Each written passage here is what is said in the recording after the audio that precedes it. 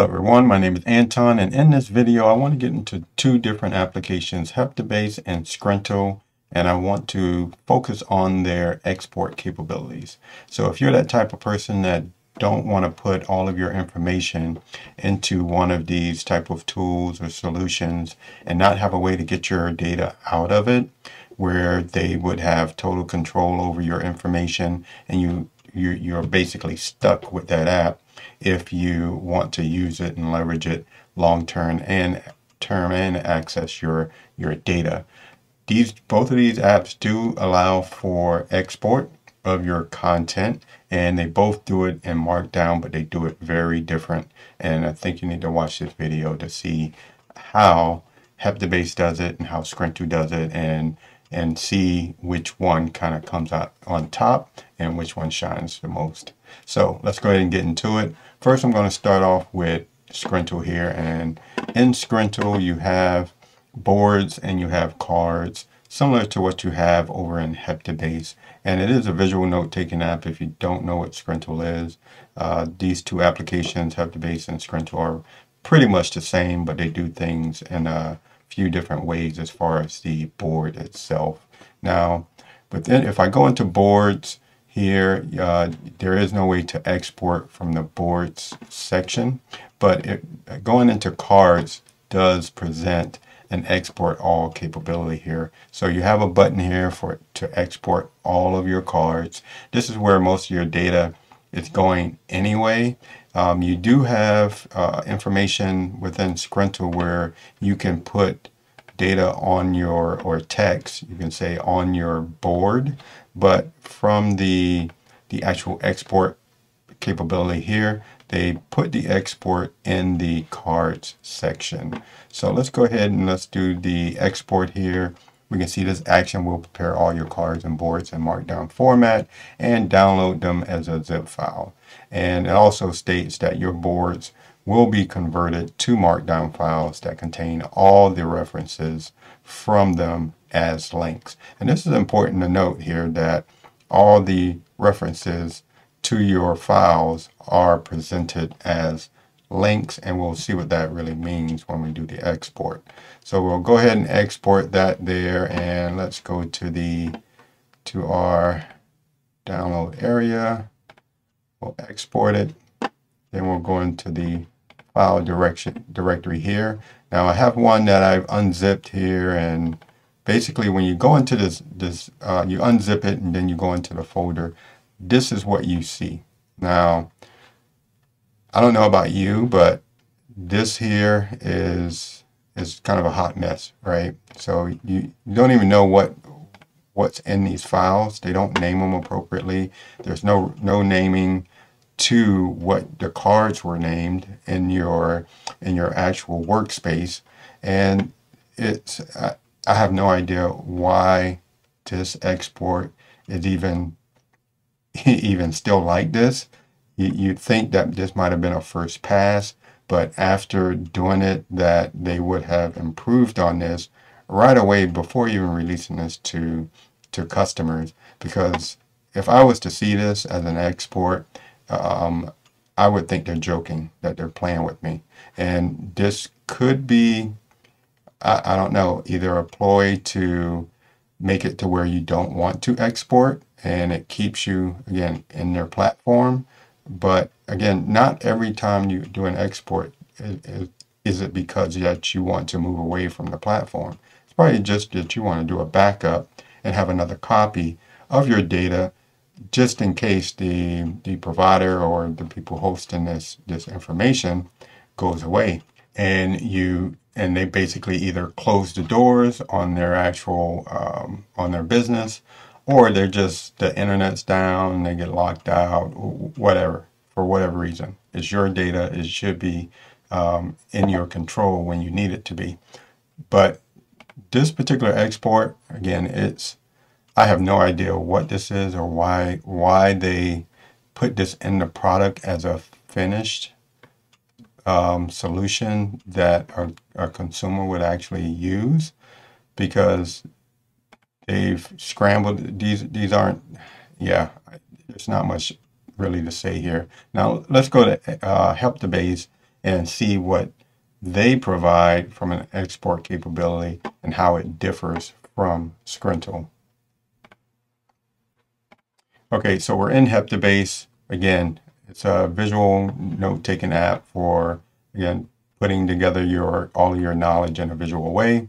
And it has similar functionality, again, to Scrintal, but I would say it's way more capable and way more functional um, and more, more feature rich. So they do have the maps where all of your boards will go.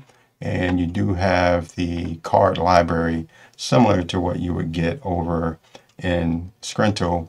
But when the, the way they provide their export is through the um, settings area and if we go into, let me see, where is it? Backup and sync, then in here is where you get to export your information. And right off the bat here, when you come into here, you see that they also have and include a backup capability. And this is a, a you know, a real functional backup where it automatically does this backup to a directory that you choose on your local machine and it does it on a, on a certain frequency, right? So right here, when you, it automatically creates a zip file every time closing the app. So you close your app, it creates a backup in this particular folder that you select. And this backup though is app required. So you can only restore the your information from this backup by using this application. Now, they also provide the export capability that we want to see in these applications so that you can pull your information out and export it in a format that would be readable to a human, right? So I can easily open up a file and read it. And they do this by using markdown files. So if I come in here and I do an export, and you can see here it exports all your cards and whiteboards, similar to what Scrintal said that they do, but the the output, the the actual files that you get, you can't distinguish whether it's a board or it's a card or or whatnot. And also, let's go back into that directory. You don't get any of the other file types outside of the text-based cards that you had in Scrintal. So none of your images, uh, none of your PDFs, any other files that you put into Scrintal do not come down with this export feature. But let's go back to Heptabase and we'll do an export here and we get to choose the folder that it goes to. But here you clearly see that you have an option to include files and images. This is one option you do not get with Scrintal. And this is where this is already looking better um, on the surface uh, you know, when you compare it to what, what we did with Scrintal on this side. Now we'll go ahead and do an export here. It will take a little bit and now it's done. And if I want to view this, this folder, I can come in here and see all the information that's in there. We'll go ahead and let's zoom in a bit here so we can see this. And we can see already that there was way more attention to detail that was thought thought about when they created this particular process for exporting your information. We already see that they've they've created separate folders for the whiteboards, for the cards. They even went as far as to to put separate folders for um, mind maps, which sits on your boards, and those are even separated into their own folder. Now, this is above and beyond what I would actually even expect from an export from any of these systems. Just the, the attention to detail on what they did here by separating all these things out. And they also, if you come in here, you'll, you'll notice that you have PNG files here. I have JPEG files. And if we go into highlights here, let's see, we have PNG files, um, yeah, all, all your data that you that you put within Heptabase here is being pulled down into this particular folder structure so that when you come in, come in here and you leverage these markdown files, which by way are also named with what they're named in the actual system and in, in the application. They're, they're not any scrambled up numbers and letters, uh, which is a, just a jumble of mess that you can't understand. You, you literally know what you're looking for. You can go straight to it. You can open up these doc documents and it's marked down in these files. Yeah, th this is way better than what you would get from Scrintal in, in comparison here. And I think it even goes above and beyond what you would probably see from a lot of other applications that allow you to export their data. So kudos to you Heptabase. This is fabulous job on, on, on the export feature that you have on your tool. And Scrintal, you know, I, I would say shame on you for even putting this out for people to use it because this this here looks like a really rushed job and a poor implementation of you know an export feature where users want to get their information and they should get their information that they put into your tool and they should be able to actually be able to consume it easily. And this here just seems like some haphazard way of forcing the the user to go through maybe an additional complication so that they would not ever get out of your tool. So yeah, that's just, you know, my thought on it.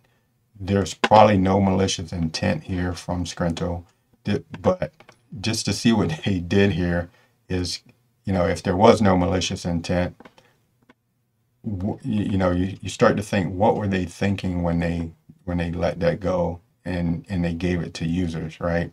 Or they were not thinking at all. So don't mean to be too harsh on on the developers there, but I, I really do think that that's a poor implementation of an export, and it saddens me to see that that's what they released for users of their application that are paying money for the solution. All right, so I'll step off my soapbox there. I think I uh, beat the dead horse on the export capabilities or the lack of from Scrintal and highlighted, you know, the, the, the awesome job that Heptabase has done with their export capabilities from their product.